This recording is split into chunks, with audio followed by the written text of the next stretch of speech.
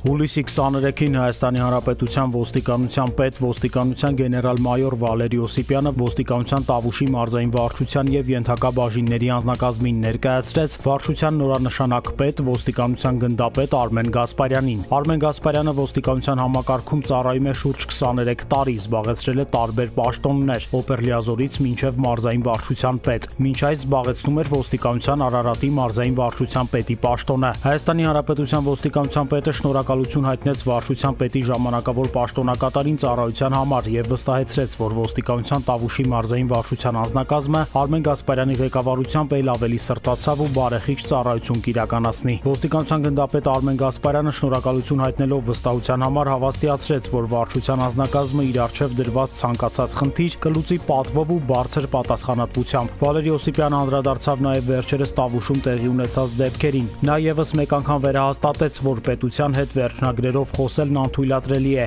իսկ ինչ վերաբերում է ապօրինի ծառայատումներին, ապա ոստիկանությունը շարունակում է ուժեղացված ծառայությունը եւ բոլոր այն անձինք, ովքեր կզբաղվեն ապօրինի ծառայատումներով, հայտնաբերվելու եւ ենթարկվելու են պատասխանատվության։ Ելույթ ունեցավ նաեւ Տավուշի մարզպետ Հայկ Չոբանյանը։ Նա շնորհակալություն հայտնեց ոստիկանությանը բարեխիղճ ծառայության համար եւ պատրաստակամություն հայտնեց միասին պայքարելու հակաօրինական դրսևորումների դեմ։ Քննարկվեցին ոստիկանության Տավուշի մարզային վարչության գործառույթներին վերաբերող այլ հարցեր եւս։